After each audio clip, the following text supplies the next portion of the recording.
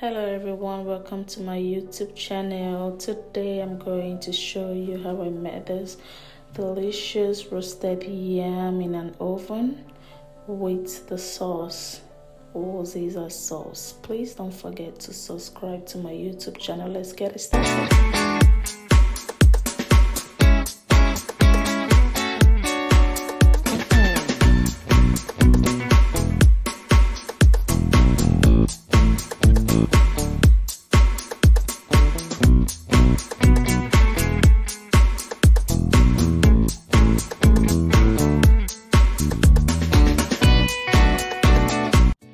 First and foremost, before roasting, I already washed my yam and dried it. Check if the yam is good inside because sometimes it might look perfect outside but our inside is rotten. Put the yam inside the oven and lower the heat. Cover the oven. If you don't lower the heat of your oven, the yam is gonna burn. Two hours later, I came back. My yam is ready to know if the yam is ready. Take your finger and press the yam. Press the yam. If the yam is soft is ready. Time to peel. You peel the bag.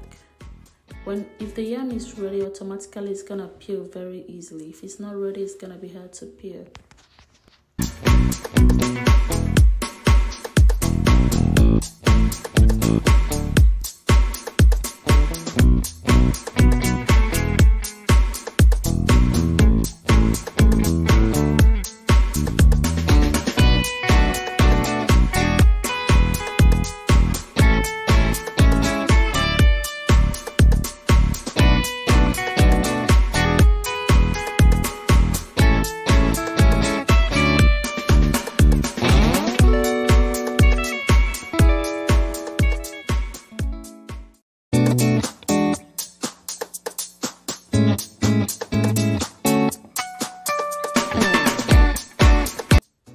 My yam is ready. Time to make my Oziza sauce.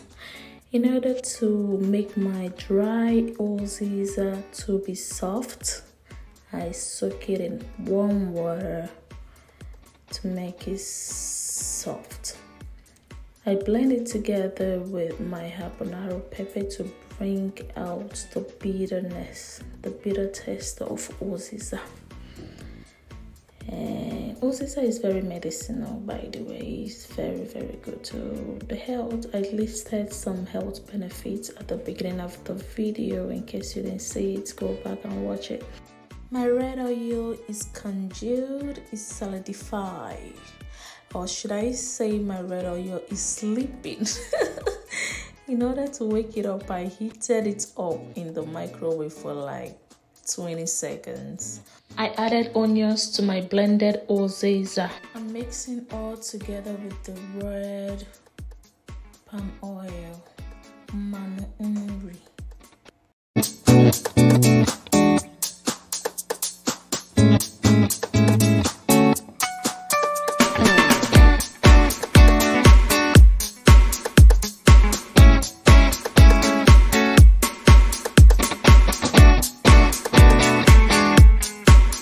Finally finally we have ugba.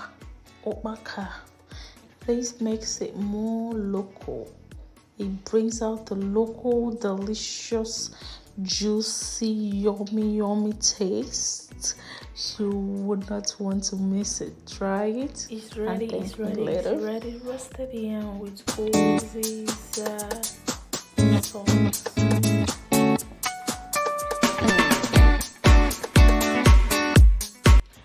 honestly the best way to eat this is with your hand. But if you want to use fork it's up to you